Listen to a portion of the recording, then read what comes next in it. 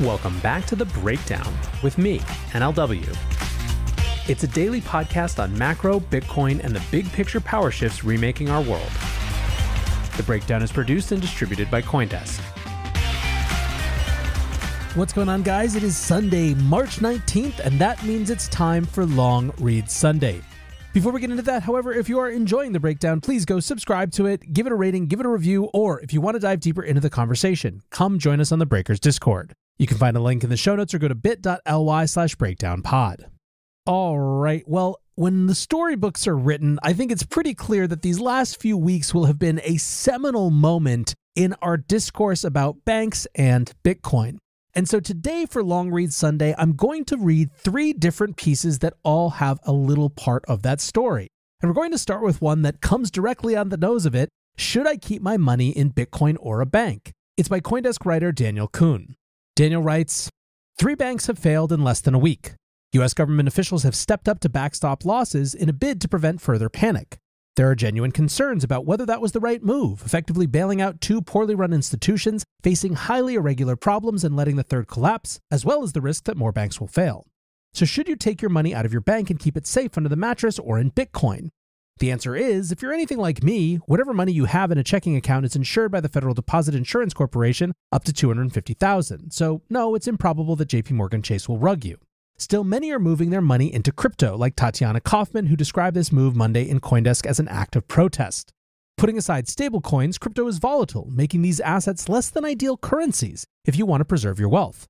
But they offer quote unquote root ownership, meaning no one can make a run for your deposits. Bitcoin, as many have already said, was born out of an earlier banking crisis. The blockchain's very first block contained a message about bailouts. It was designed to disintermediate third parties from internet money by making people responsible for their own keys, in contrast to the highly intertwined private banking sector and public sector. President Joe Biden has said U.S. taxpayers will not foot the bill for the bailout, and that unlike in 2008, the architects of this financial crash will not benefit. There are enough responsible actors here to play the blame game, but if you're like Tatiana, the issue is the system itself. Senior management of Silicon Valley Bank sold millions of dollars worth of shares in the lead up to the crash. This is seemingly the only risk management they performed. In 2015, SVB chief executive Greg Becker said institutions like SVB did not present systemic risks while testifying before Congress over plans to deregulate banking that were implemented in 2018. SVB essentially took a bet that interest rates would stay near zero forever. Over the past couple of years, it took in deposits from a tech industry that was booming in part due to historically low rates that made venture capital financing worth the risk for many investors. In an effort to juice as much yield as possible from those deposits, SVB put a majority of its money into long term fixed rate interest investments. The Federal Reserve essentially created the foundation for a tech hype cycle through financial engineering to stimulate the economy, and then threw the frying pan into ice water when things got too hot. The recent interest rate rises were not necessarily unpredictable, but the Fed's inconsistent messaging, saying rate hikes were unthinkable until they weren't, did not help the situation. Venture capitalists like Peter Thiel helped accelerate SVB's outsized growth and its quickened collapse. Thiel is reportedly a believer in Girardian mimicry, which explains why groups of humans make predictable, if irrational, decisions and our relentless pursuit of scapegoats.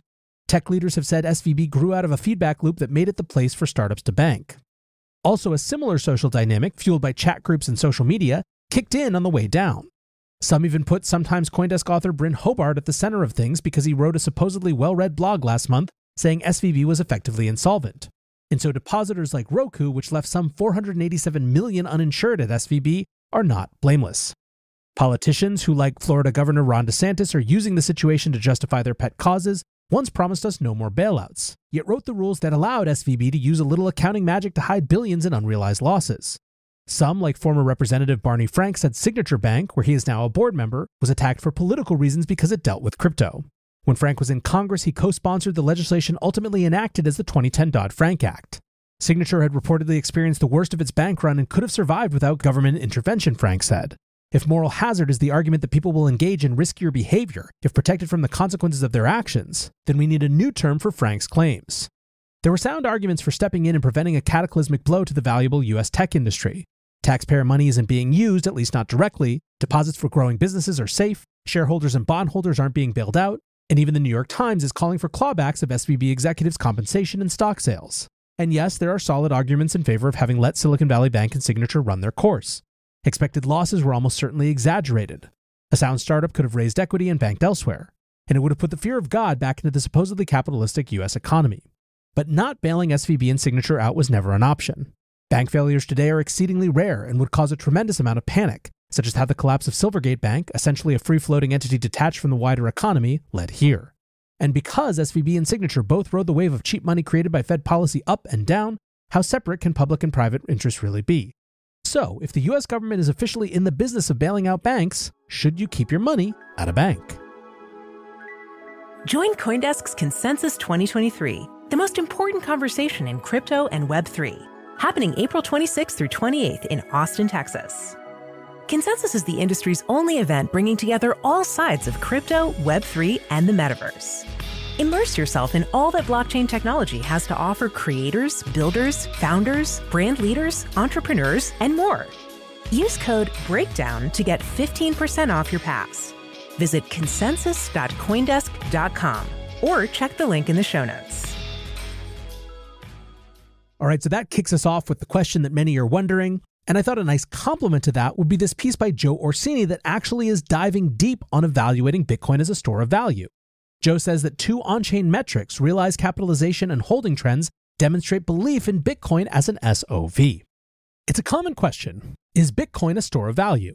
While proponents say yes without hesitation, skeptics note its historically large drawdowns, and that's fair. Not long ago, in November 2021, Bitcoin reached nearly $70,000, but is now around 20,000. That said, Bitcoin also used to trade below 1 cent, so using just prices, the answer to the initial question is it's hard to tell. For an asset in its speculative price discovery phase, volatility should be expected.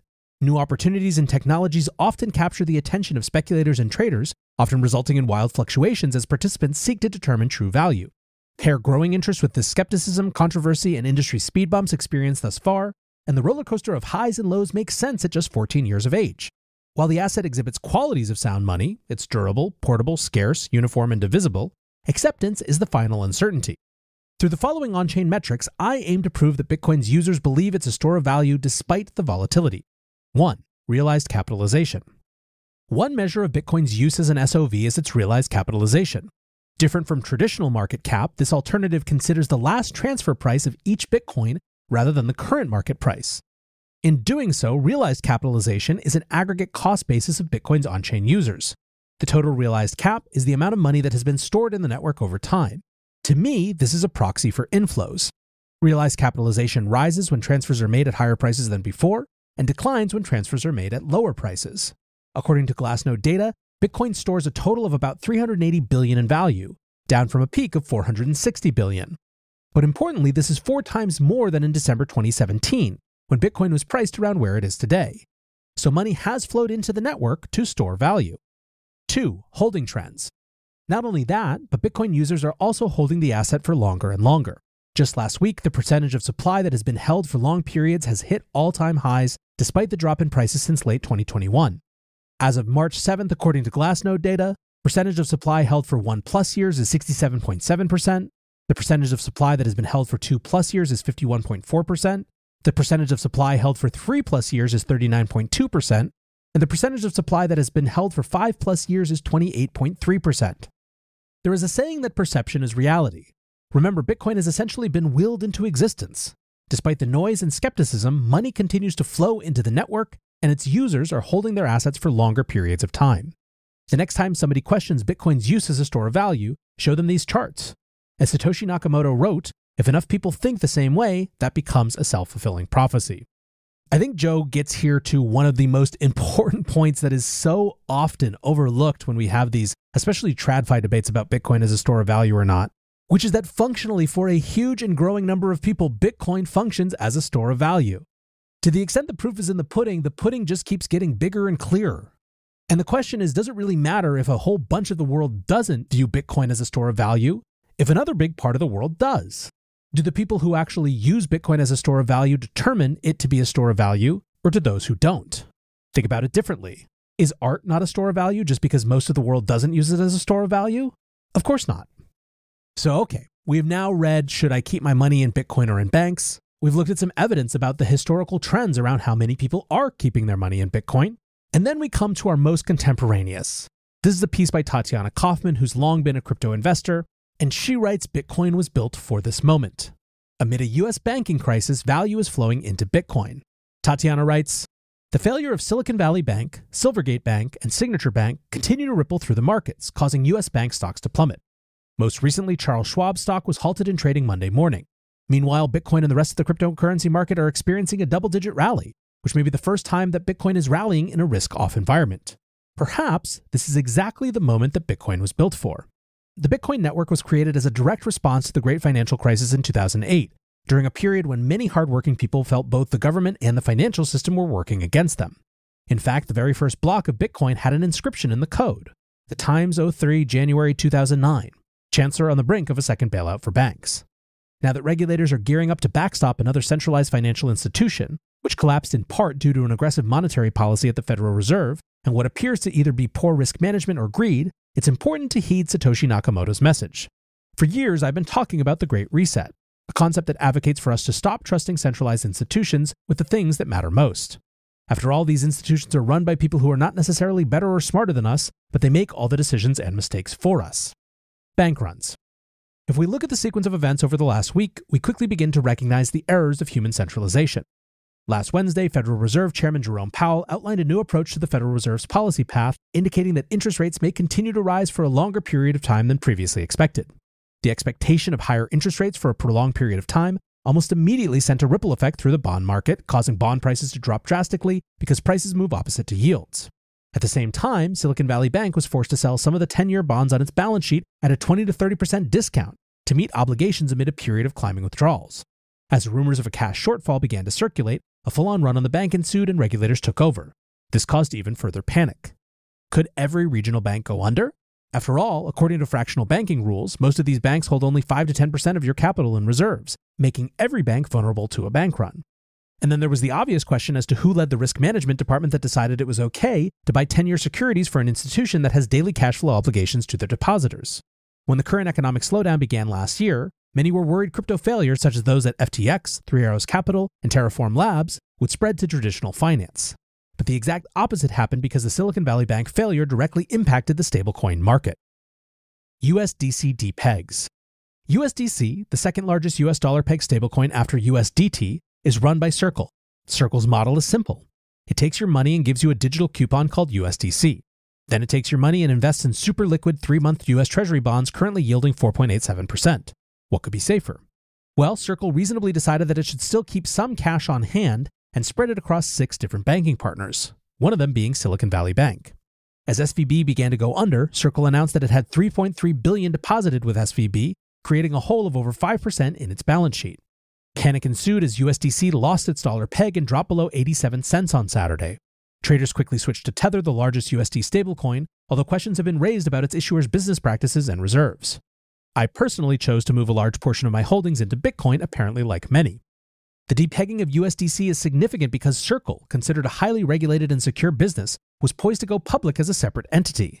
The incident provided a wake up call to investors, demonstrating that not your keys, not your coins applies not only to banks but to all centralized entities, even those that run our stablecoins. Circle tried to restore trust by announcing it will use its corporate resources to cover any shortfall, which caused the stablecoin market to rebound by Sunday evening. As a result, USDC and DAI, which has significant USDC reserves, have returned to their dollar peg, and it is expected that USDC will now trade at par after compensating for SVB depositors. But is that enough? Who do we trust? Our assets may be bouncing back, but the shock to our nervous system remains. How can we trust anything centralized? How can we keep our money in banks above the FDIC insured limit of 250,000? Could the insurance fail? How can we keep our money in stablecoins that use the same banking partners? Bitcoin's beauty lies in its ability to store value in a decentralized manner backed by math without requiring humans to validate or support it. No one lends out 90% of your deposits to make a profit. There is no possibility of a bank run, and no one gambles with your hard earned money on bonds. Bitcoin was made for this moment, and it seems the market agrees. The Great Reset presupposes a future where Bitcoin is the most valuable asset and the ultimate measure of value. It is what we use to store our wealth, perhaps selling small pieces for stablecoins to pay our daily expenses, but nonetheless only trusting this decentralized store of value. The concept of decentralization, however, applies to other areas as well, such as how we run our communities, allocate resources, and decide what our government should or should not control. A significant shift is underway, and more people are opting out of the traditional system. We do not know how long it will take, but the Great Reset is happening, and Bitcoin will be its chosen currency. All right, guys, back to NLW here. You know, one of the interesting things, if you've watched the crypto markets for a long period of time, is that if you go back to 2017, everything was priced against Bitcoin. It wasn't priced against stablecoins. Bitcoin was the trading pair, it was the reserve currency for the entire crypto industry. Over the next couple of years, based on the rise of Tether and then USDC, stablecoins started to play more of that role. Now, in the wake of Circle finding itself exposed to regulated bank problems in the US, more value is flowing not just back to Tether, which is offshore and somewhat outside of the US system, but into Bitcoin. It turns out when push comes to shove, the distinctness from the larger financial system is to many worth more than the cost of the volatility of Bitcoin prices. I don't know how much of this week's run up was ultimately about the Bitcoin narrative. I do, however, know that Bitcoin once again has proven why it exists and why it's important. I think the image of it staying strong and even going up in the face of these bank failures is one that's going to stick with people, even who aren't in Bitcoin yet. I think as we go into the halving next year and beyond, this will be seen as a seminal moment in the trajectory of Bitcoin, and I'm excited to have witnessed it. Thanks to Daniel, Joe, and Tatiana for these pieces, and thanks to you guys for listening. Until tomorrow, be safe and take care of each other. Peace.